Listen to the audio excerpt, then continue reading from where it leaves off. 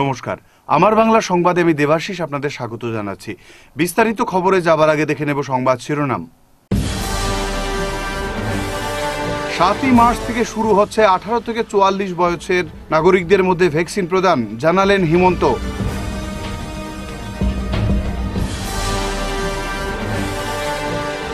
BJP কর্মী নির্যাতনের প্রতিবাদে স্মারক রাষ্ট্রপতিকে কঠোর পদক্ষেপের দাবি।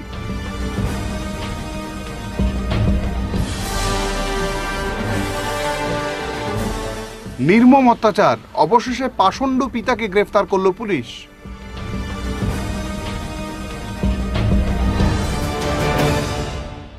এবারে বিস্তারিত আমার বাংলা সংবাদ। শুরু হলো আঠারো থেকে চুয়াল্লিশ বছর বয়সের মধ্যে করোনা টিকাকরণ।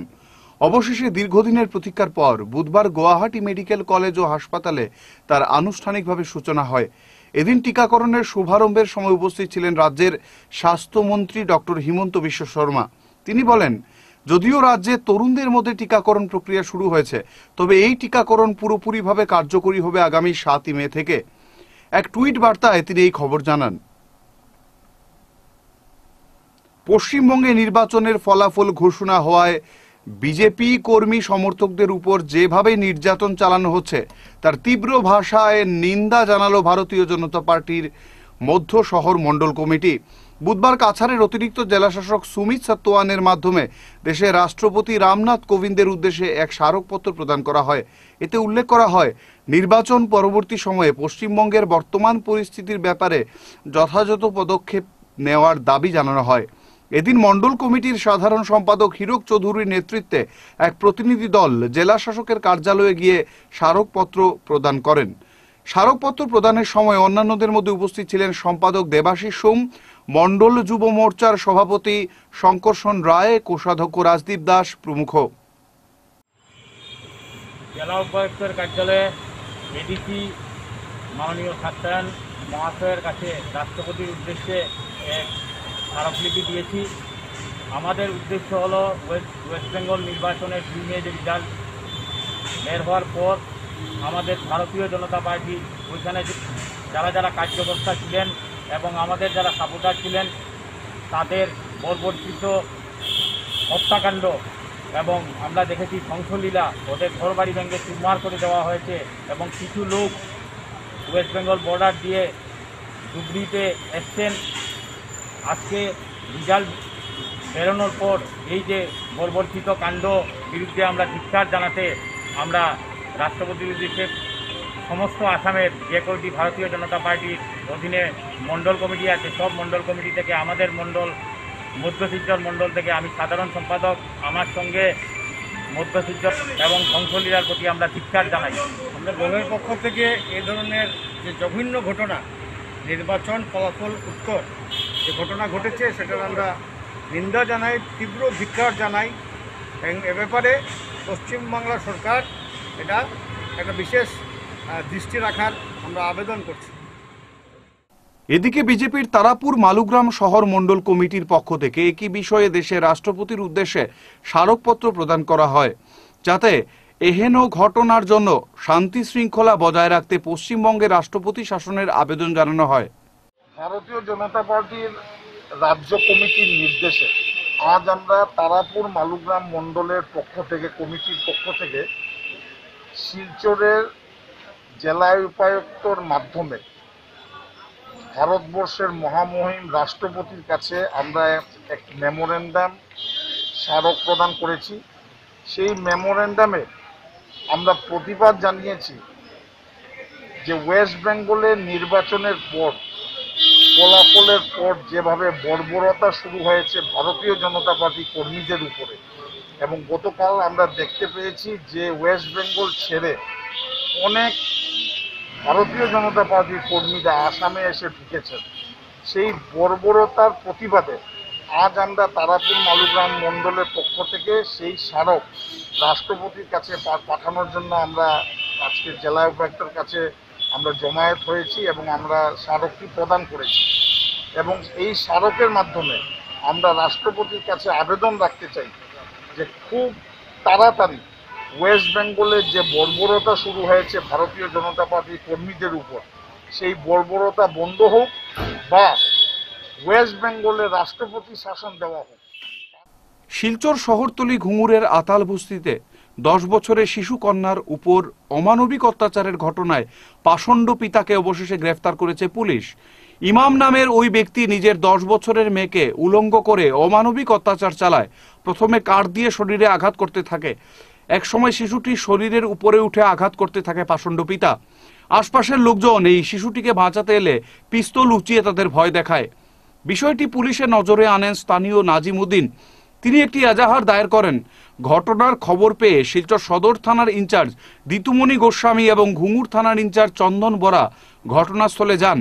এবং ইমামের ভাইকে আটক করেন নির্যাতিতা শিশুকে চিকিৎসার জন্য শিলচর মেডিকেল কলেজ হাসপাতালে পাঠানো হয় এদিকে মঙ্গলবার রাতেই পলাতক পিতা ইমামকে গ্রেফতার করে পুলিশ রাজ্য পুলিশের অতিরিক্ত সঞ্চালক জিপি সিং এর নির্দেশেই শিলচর পুলিশে ঘটনার তৎপর হয় सोशल मीडिया पे एक वीडियो वायरल हुआ था जिसमें अ, एक आदमी अपनी माइनर लड़की को अ, बुरी तरह से पीट रहा है जैसे ये वीडियो पुलिस के नॉलेज में आया हमने इमिडिएटली उसको आइडेंटिफाई किया और एक स्पेशल टीम बनाया। उसने उसको सिलचर शहर से जो उस वीडियो में जो दिखाई दे रहा है उसको अरेस्ट किया है। और ये जो वीडियो में दिख जो आदमी दिखाई दे रहा है ये लड़की का फादर है। तो हमने उसको कस्टडी में ले, ले लिया है और अभी हम पूछताछ कर रहे हैं और हमें जानने की कोशिश कर रहे हैं कि उसने किस बात पे ये हुआ। और एक वीडियो में उसके पास में आर्म्स भी दिखाई दे रहा है। तो हम वो भी रिकवर कर रहे हैं। अच्छा उस वो जो जो जो ये आद, वीडियो में जो आदमी दिखाई दे रहा है इसके खिलाफ काफ़ी पहले भी कोई के, काफ़ी केस सारे केसेस हैं। हम उन केसों को भी देख रहे हैं और मैं जो भी एक्शन होगा एज पर लो लिया जाएगा। का हम जो मेडिकल करवाया है उनका और उनका स्टेटमेंट मजिस्ट्रेट के सामने स्टेटमेंट हमने लिया है और जो भी एज पर लो है वो हम एक्शन लेंगे শিলচর মেডিকেল কলেজ ও হাসপাতালের অক্সিজেন উৎপাদনের যাত্রা শুরু হলো দেশের অন্যান্য রাজ্যের মতো অক্সিজেন সংকটের আশঙ্কা নেই বরাক উপত্যকায় শিলচর মেডিকেল কলেজ ও হাসপাতালের অক্সিজেন প্লান্টের দুটি ইউনিট রয়েছে এক দশমিক আট মেট্রিক টন উৎপাদন ক্ষমতা। মঙ্গলবার এই কথা জানান শিলচর মেডিকেল কলেজের উপাধ্যক্ষ ডক্টর ভাস্কর গুপ্ত। তিনি আরও যোগ করে বলেন, ইতিমধ্যেই আরও একটি প্লান্টের কাজ শুরু হতে চলেছে। চলতি মাসেই নতুন প্লান্টের দুটি ইউনিটেই অক্সিজেন পাওয়া যাবে। এই দুই প্লান্ট একসাথে কাজ শুরু করলে মোট তিন দশমিক ছয় মেট্রিক টন অক্সিজেন উৎপাদন হবে বলে জানান। Silchar urban water supply and sewerage বোর্ডের বিরুদ্ধে প্রথম লিঙ্ক রুট সহ তার পার্শ্ববর্তী এলাকার স্থানীয়দের দীর্ঘদিনের অভিযোগ ছিল সঠিক সময়ে পানীয় জল সরবরাহ করতে। তাছাড়াও যতটুকু পানীয় জল পান, তা পর্যাপ্ত পরিমাণে পান না। বুধবার গ্রাহক সুরক্ষা সমিতির কাছাড় জেলা কমিটির পক্ষ থেকে সমিতির কর্মকর্তারা Silchar urban water and sewerage বোর্ডকে আবেদন জানিয়ে বলেন, এহেন সমস্যা নিরসনে অবিলম্বে পদক্ষেপ গ্রহণ করতে অন্যথায় সংস্থা আগামী দিনে আন্দোলনে নামতে বাধ্য হবে ফলে সাফ জানিয়ে দেন তারা। উল্লেখ্য দু হাজার চোদ্দ পনেরো সালে একই বিষয় নিয়ে ও অস্বাভাবিক পানীয় জল বিলের বিরুদ্ধে সংস্থা বিক্ষোভ প্রদর্শন করে।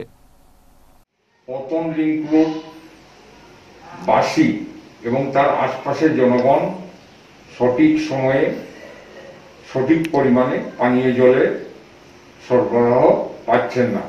ফলে ওই এলাকার জনগণের মধ্যে এক আতঙ্কের পরিবেশ সৃষ্টি হয়েছে।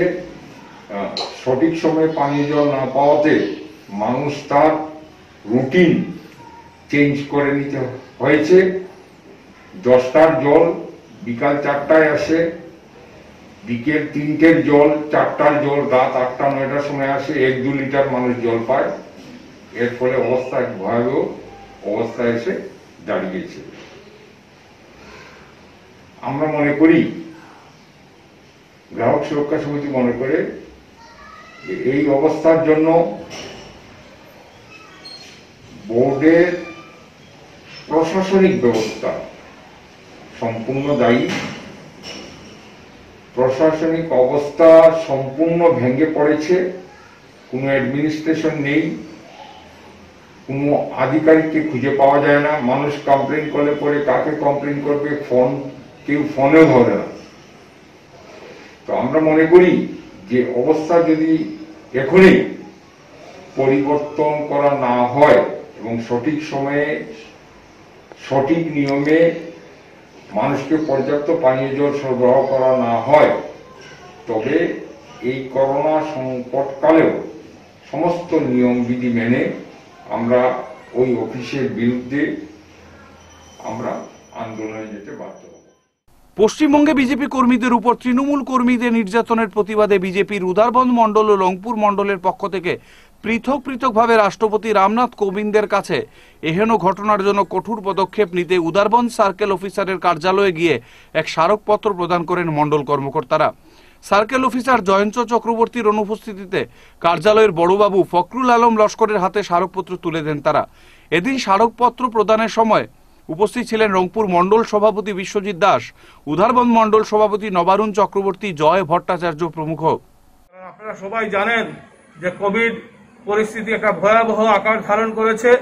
তাই আমরা মুসলিমও কয়েকজন দলীয় কার্যকর্তা, দলীয় নির্দেশে আমরা এখানে উপস্থিত হয়ে আজকে সার্কুল অফিসার থ্রুতে এই মেমোরেন্ডাম এখানে পেশ করলাম এবং আমরা সেই সঙ্গে দাবি রাখছি যে অতি সত্বর এই হিংসা বন্ধ হোক, এই যে নরমের যজ্ঞ পশ্চিমবঙ্গে চলছে, মমতা বন্দ্যোপাধ্যায়ের নেতৃত্বে সরকারের ফলে আমাদের আসামেও নির্বাচন হয়েছে।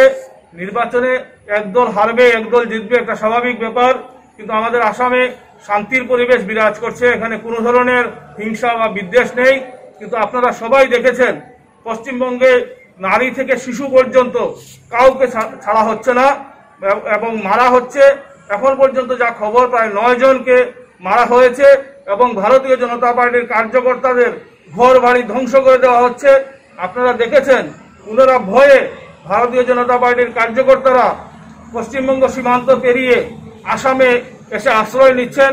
আমাদের আসাম সরকার এবং প্রশাসন সেই যারা এখান থেকে যান বাঁচাতে আসামের সীমানায় প্রবেশ করেছেন, তাদের এখানে শরণার্থী হিসাবে ক্যাম্প বানিয়ে রেখেছেন, ওদের খাওয়া দাওয়ার ব্যবস্থা করছেন।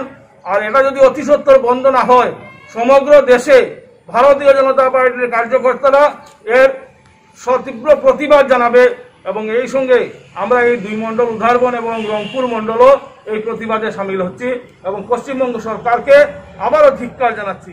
নমস্কার। পশ্চিমবঙ্গের অশান্তির ঢেউ এসে লাগল কাছাড়েও। আপাত শান্তিতে একুশের নির্বাচন পর্ব সম্পন্ন হলেও এবার শুরু হয়েছে ভোট পরবর্তী হিংসা। আর এই হিংসার অভিকেন্দ্র হল সোনাই বিধানসভা কেন্দ্র। ভোটের সন্ধ্যায় ধনেহরির একটি বুথে অপ্রীতিকর ঘটনার পর সেই কেন্দ্রে পুনরায় ভোট নেওয়া হয়। এরপর গণনা ও ফলাফল ঘোষণা পর্যন্ত সবকিছুই ঠিকঠাক ছিল। কিন্তু এখন শুরু হয়েছে অশান্তি। বুধবার এআইইউডিএফ এর কিছু সমর্থক প্রাক্তন বিধায়ক আমিনুল হক লস্করের বোনের সোনাইরুডের বাড়িতে আক্রমণ চালায়। সোনাবাড়ি ঘাটের প্রাক্তন গাঁও পঞ্চায়েত সভাপতি আলতাফ হোসেন লস্কর, মাসুম বরবুইয়া ও ফয়সাল করিমরা মিলে আমিনুলের ভাগ্নে রৌফ চৌধুরীর ঘরে এসে ধুমকি দেন এবং ঘরে ভাঙচুর চালিয়ে মারপিট করে বলে অভিযোগ। এ খবর পেয়ে ঘটনাস্থলে পৌঁছেন রাঙিরখাড়ি পুলিশ ফাঁড়ির ইনচার্জ প্রণব কুমার ডেকা। সদর থানার ওসি দিতুমণি গোস্বামী পুলিশ তিনজনকেই আটক করে থানায় নিয়ে যায়। এদিকে দুষ্কৃতী হামলায় আহত হন রৌফ সহ তার মা ও ভাই। এদিকে অতিরিক্ত police super Jagdish Das, DSP headquarter Bhargab Goswami ঘটনার তদন্ত করতে মাঠে নেমেছেন। রাজনৈতিক দৃষ্টিকোণ থেকেই এই হামলার ঘটনা ঘটেছে বলে মনে করা হচ্ছে। আগে আমরা ইস্তার উস্তার রেডি করি আর তখন সোনাবাড়িঘাটর পঞ্চায়েত তান কিছু মানুষ, আরও তান দলবল লইয়া আপনার এখান থেকে সোনাবাড়িঘাটর আরও কয়েকজন মানুষ, বুট্টু, এরপরে আরও ওলা কয়েকজন মানুষ, তারা আইসে তিন চার গাড়ি লইয়া বরিয়া হ্যাঁ বিজুলা, এরপরে আপনার উঘু সব, ঠিক আছে? তারা তিন চার গাড়ি বরিয়া আইসে, আইয়া আমার এখানে ঢুকছে। তখন আমি ঘরে আসলাম না, আমি খবর পাইয়া আইছি আইয়া থানার থেকে মানুষ লইয়া আইছে আইছে আমার ঘর দিলাইছে তারা ঠিক আছে রড উড লইয়া ফার্স্ট লিঙ্ক রোড এখানে নামছে।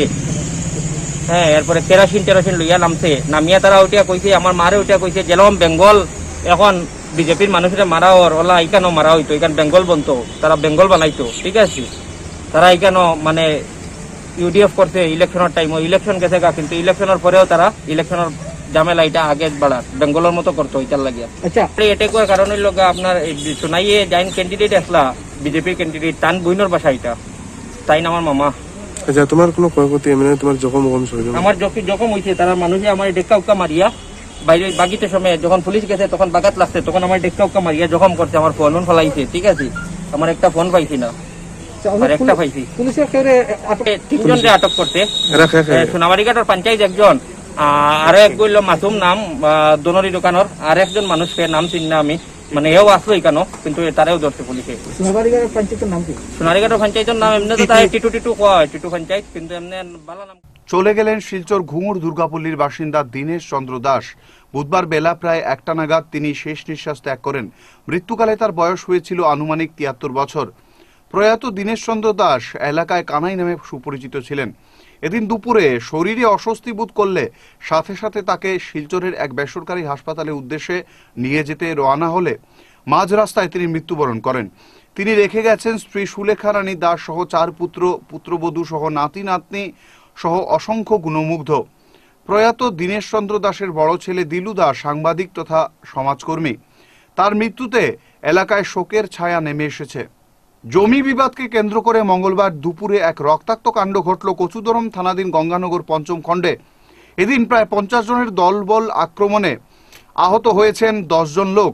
আহতরা হলেন রাজেন্দ্রনাথ রায়, লালান প্রসাদ রায়, পান্নালাল রায়, রাধেশ্যাম রায়, রিকা রায়, পিয়ারি রায়, রসিদা বেগম লস্কর রশিদ আহমেদ, শ্যামসুন্দর রায় ও রাজেশ রায়।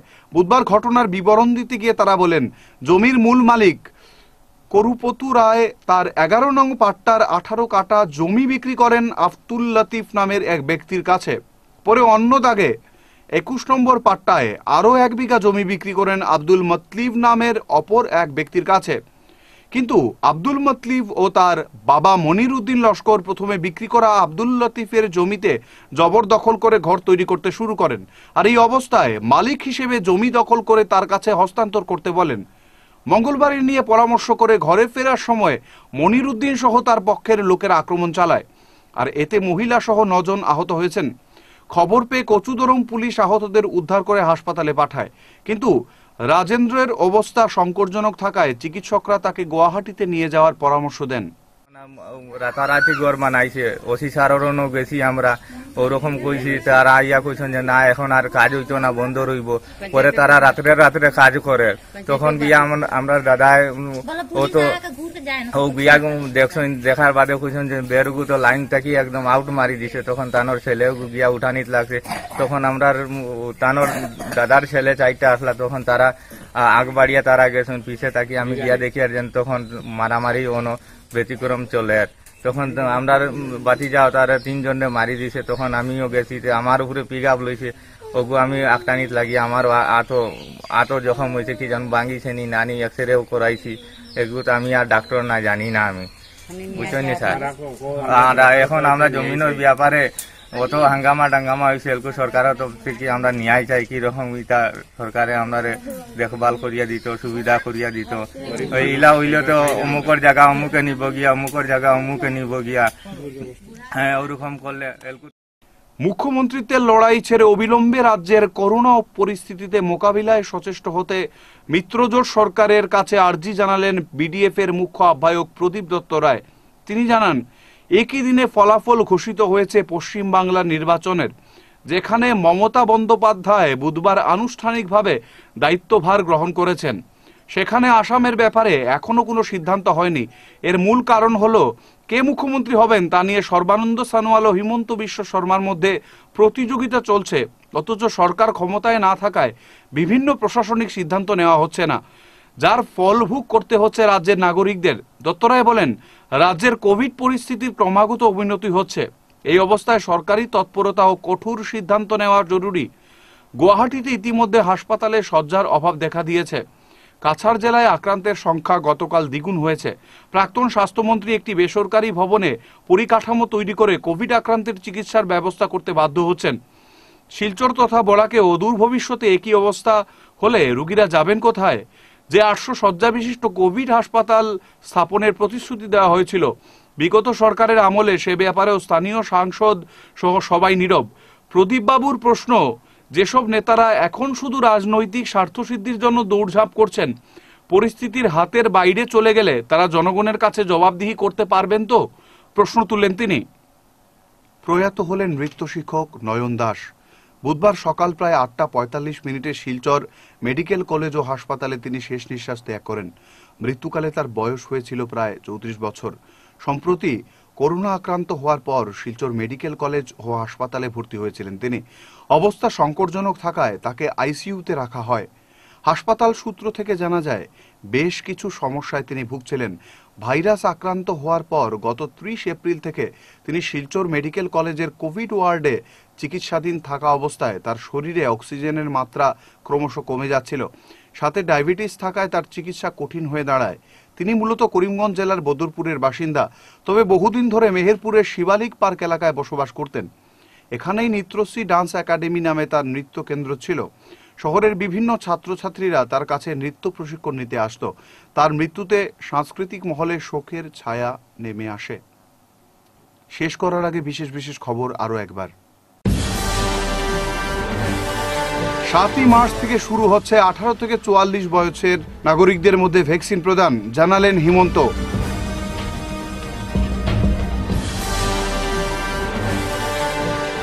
বিজেপি কর্মী নির্যাতনের প্রতিবাদে স্মারক রাষ্ট্রপতিকে কঠোর পদক্ষেপের দাবি।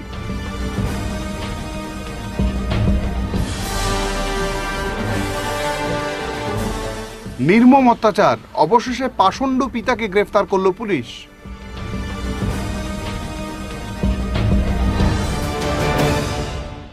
এখনকার মতো সংবাদ এ পর্যন্তই। নমস্কার।